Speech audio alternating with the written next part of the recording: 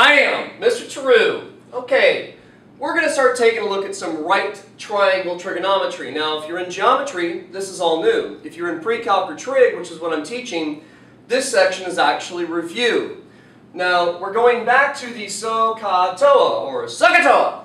Uh, that is, the sine of theta is equal to opposite over hypotenuse, cosine is adjacent over hypotenuse, and tangent of theta is equal to opposite over adjacent. Now, if you've been keeping up with my videos, you might have uh, noticed that a lot of the calculations we've been doing with these trig functions lately have been with y over r, x over r, and y over x. We came up with these labels when, and they are very, very useful and preferred when we're dealing with angles that are in standard position. We are not going to be dealing with angles in standard position with this video. We're just doing right triangle trigonometry. We're just going to be drawing triangles sort of floating around in space and not with one of their uh, uh, vertexes on the origin uh, on the xy axis. So these labels are great for standard position angles, but not when you're just dealing with right triangles uh, placed down you know, in the textbook or on your paper. So let's first start with this question. We got a triangle, and uh, don't count on these being drawn to scale which uh, we're going to mark off. This angle here is theta and have the side here of 5 and 13. And the directions are, my question to you is, can we set up the six, the uh, six trig functions? Well, part of the reason why this is in our book now is to reinforce the idea that for a lot of trig, all we are doing is studying um, the right triangle. So the six trig functions are based off the ratios that you get out of the sides of a right triangle, and that means you need all three of those sides. Once you get all three sides, you can set any of these three, uh, three trig functions you want, or their reciprocals. We are going to find six, so clearly I didn't make, did not make my list long enough. But we do need all six sides. So we're going to do that by the Pythagorean theorem, and that's going to be uh, whatever you want to call this a squared plus b squared equals c squared. Okay, so that's a squared equals, excuse me, plus 25 equals 169. Subtract both sides by 25, and we get a squared is equal to 144. And then, of course, we're going to get rid of the power 2 by square rooting both sides, and get an answer of 12. And if you know your Pythagorean triples, you might have already known that the side that I left blank was going to come out to be a value of 12 anyway. So Pythagorean theorem is going to be what you use to find a missing side of a right triangle when you know two of them, but not, you know, you're only missing one side. You're looking for a third side. Now I did say that we want to find all six trig functions. So let me squeeze this in here. And I have plenty of room. What is the reciprocal of sine?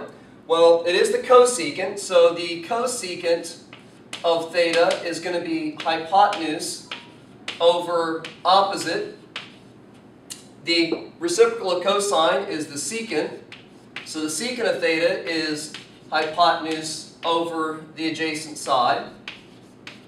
And tangent of theta is equal to adjacent, or excuse me, the reciprocal of tangent is cotangent and that is adjacent over opposite.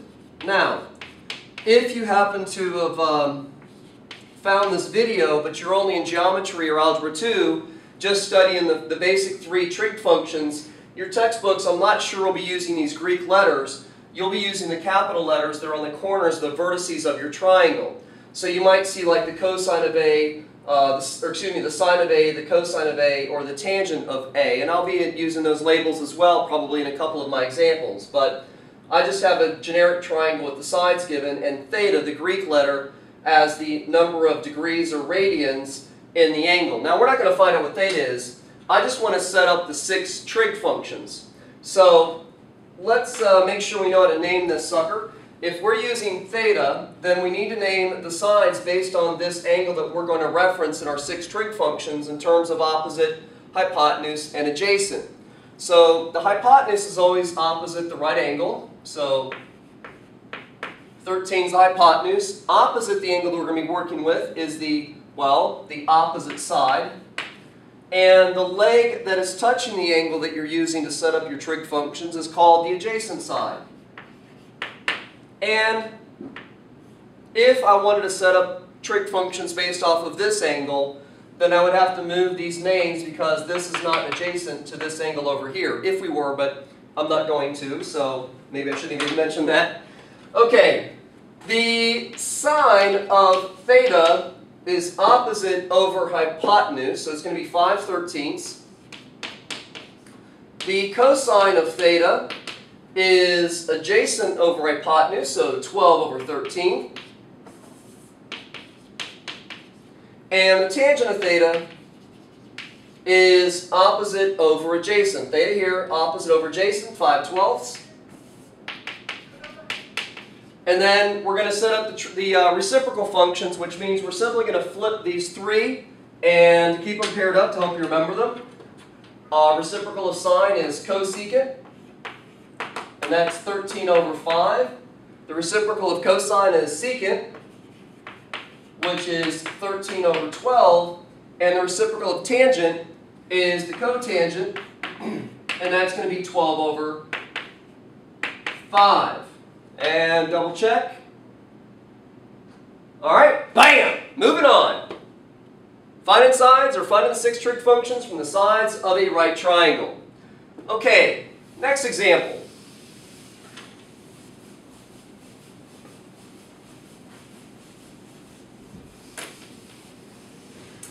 Well, the next example is going to be uh, finding the sides, the missing sides of a right triangle where we only know one side and one angle. So, uh, again, probably not drawn to scale, but here's a right triangle.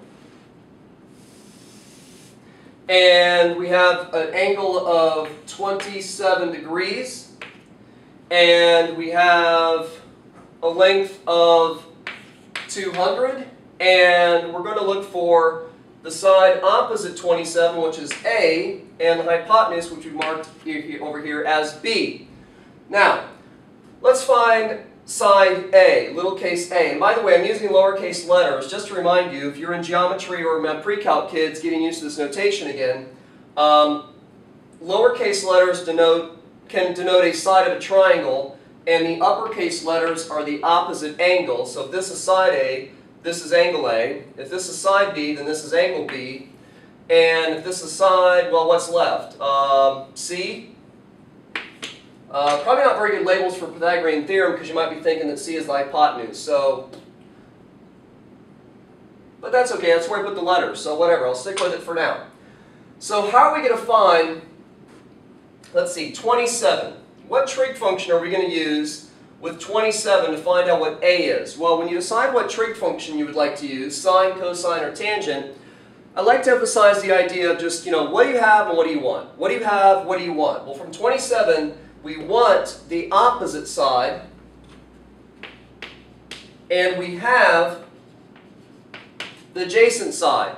So we want, we have. We want the opposite, we have the adjacent, opposite, adjacent, opposite, over adjacent. That's the tangent function. So the tangent of 27 degrees is equal to the opposite, which is A, over the adjacent side of 200. And I want to solve for A. I want to find out how long that side is. So I'm going to multiply both sides by 200 to undo this division and get 200 times the tangent of 27 equals A. And just simply type this into your calculator. And if your calculator is in degree mode, which it'll need to be because that's how we've marked this diagram, you're going to get an answer of 101.9 for side A. Whenever you touch sine, cosine, or tangent on your calculator, and the TI-Nspires will let you do all six trig functions, so if you use one of those trig functions in your calculator, please make sure that you're in the right mode because you might get it all set up correctly and get a wrong answer because you're in radian mode when this question is in degrees. Okay, next example. Now we know the side is 101.1 and I want to show you the word for finding the hypotenuse. Now, how can we find the hypotenuse? Well, we could do Pythagorean theorem. a squared plus b squared equals c squared, or in the case the way this is labeled annoyingly, uh, whatever, the two legs squared equals hypotenuse squared. But what if this question is wrong? We just calculated this number ourselves. It's not given information. So if this mistake, or if this question has a mistake in it, answer has a mistake in it, and I use it to find another side, I'm just going to continue or carry that mistake through the rest of the problem. So it's always advisable, if possible, to only use the information given to you in the problem. That's not always possible, but it is advisable. So how can I use the 27 degrees given and the 200 units given to find the hypotenuse of B? Well, again, and not use the 101. Well, from the 27, what do we have and what do we want? Well, if I want to avoid using the 101.9, I have the adjacent and I want the hypotenuse. Well, what uses adjacent and hypotenuse? Sine is opposite over hypotenuse. Cosine is, oh, there we go. So we're going to use cosine function. So the cosine of A, which is 27, is equal to the adjacent side of 200 divided by the hypotenuse of b. Now this will confuse some of my students because the variable is in the denominator and once I show them once it's usually okay but at first they're like that's kind of weird. Well you can't solve for a variable when it's in the denominator. So we need to get it out of that denominator. Well denominators or fraction bars mean division. The opposite of dividing is multiplying. So let's multiply both sides by b and get uh, b times the cosine of 27 degrees equals 200. now this is b times a number equals something else. Well, if I said like 2x equals 10, you would just divide both sides by 2. So to undo that multiplication, we're going to divide both sides by the cosine of 27.